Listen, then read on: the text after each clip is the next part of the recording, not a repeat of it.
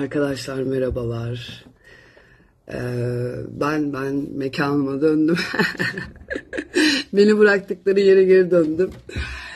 Bir şey söylemek istiyorum ya. Hiçbirine inanmıyorum.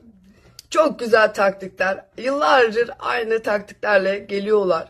Annem de bir güzel bunlar ne yapıyor diye izliyor. Ortaya çıkana kadar bunlar bir dökülsünler bakalım. Kim kim kim kim hala iyi bir kalbe sahip, kim hala kötü bir kalbi barındırıyor içerisinde. Biz bunları bir anlayalım istiyor bence. Anlayalım. Ve o kötü söz yazanlar var ya. kapak geliyor kapak. Az kaldı kapak. Kapağa az kaldı. Tutuştular ya tutuştular. Duygu bizim kapımızı çalacak mı bizden hesap soracak mı diye tutuştular. Bunun ilişkiyle de alakası yok. Anneme yaptıkları o kötülükler kendi pislikleri. Kendi pislikleri örtülsün diye. Anneme attıkları iftiralar var ya o kadın hepsinin hesabını sizden soracak. Hepsini sizden soracak. Zeynep Zeynep kim ya? Zeynep kim?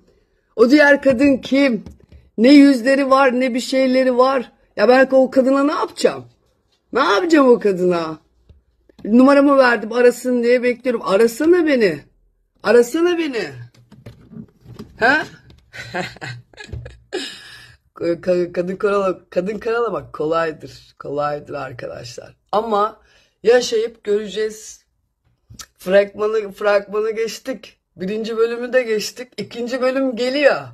İkinci bölüm geliyor.